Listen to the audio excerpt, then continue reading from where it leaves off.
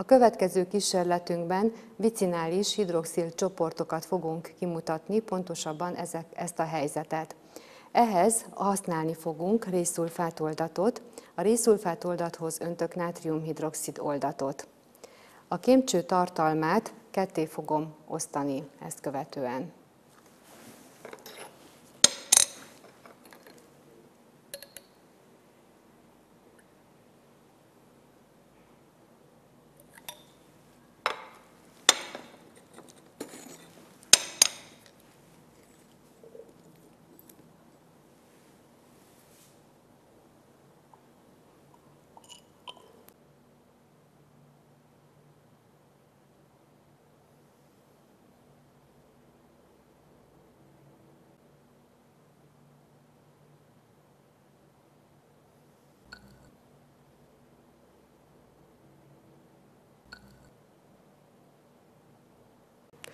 A nátriumhidroxid oldat hozzáadását addig folytatom, míg a csapadék, ami keletkezett, feloldódik.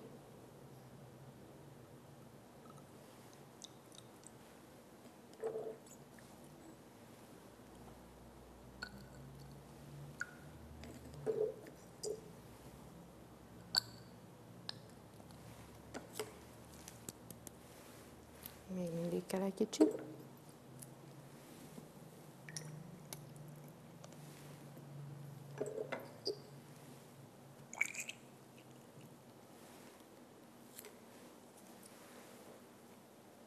Most a kémcső tartalmát ketté öntöm.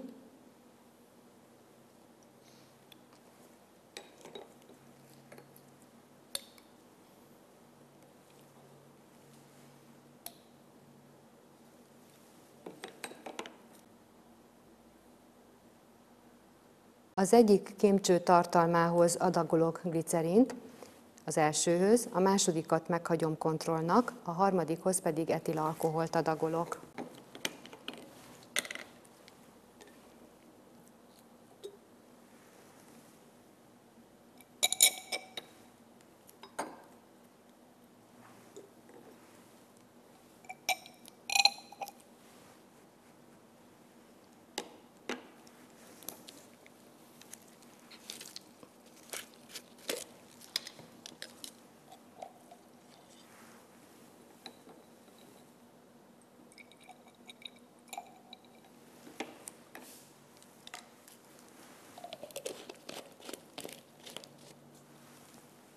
A tapasztalat, hogy az első kimcsőbe, amihez glicerint adagoltam, bekövetkezett egy mély kék elszíneződés, ez azt bizonyítja, hogy a glicerinben a hidroxil csoportok vicinális helyzetűek voltak, és a rézzel egy komplex, még kék színű komplext alkottak.